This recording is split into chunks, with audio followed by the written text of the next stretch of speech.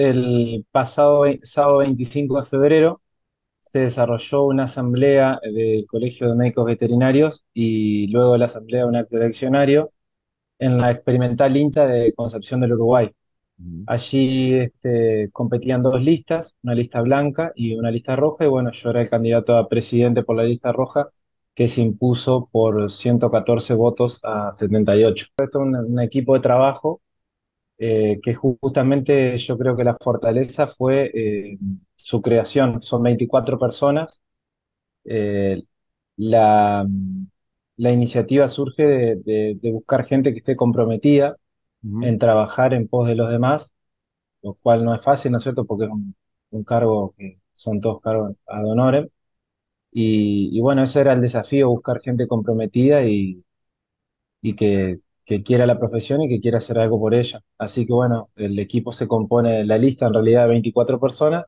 Sí. De todos modos, eh, hay un, hay, hay más personas, digamos, atrás- detrás de la lista en sí. Como lo dijimos en la campaña, nosotros veníamos a, a reforzar las cosas que se hicieron bien en la anterior gestión, que de hecho son muchas, y, y bueno, a cambiar aquellas cosas que nos parecían que se podían hacer de otra manera.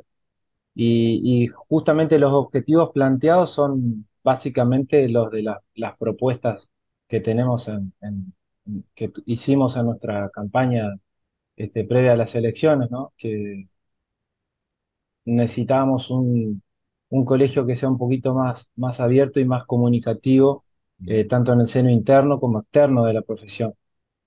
Eh, eso quiere decir las relaciones externas en la, en la sociedad, en la que un médico veterinario tiene mucha injerencia. Porque desarrolla un papel fundamental en la población en distintos aspectos y en distintas ramas de la medicina veterinaria. Y bueno, también este, mejorar el canal de comunicación interna para justamente transmitirle a los matriculados eh, las cosas que se hacen dentro del colegio. Una de las fortalezas que nosotros debemos tener es comunicarle todo lo que hacemos al, al matriculado. Y bueno, lo, lo que abunda no, no daña, así que la idea es eh, transmitirle, como le digo, internamente todas la- las cosas que se hacen, que no son pocas. Por ahí, buscar el canal de comunicación adecuado, por ahí suele ser lo más, lo más difícil. Pero, pero bueno, eh, es la idea nuestra del equipo de trabajo, venimos con muchas ganas y, y bueno, tendremos que ver eh, cuál sería el canal de comunicación. Más eh, con la diversidad que tiene la provincia de Entre Ríos, ¿no?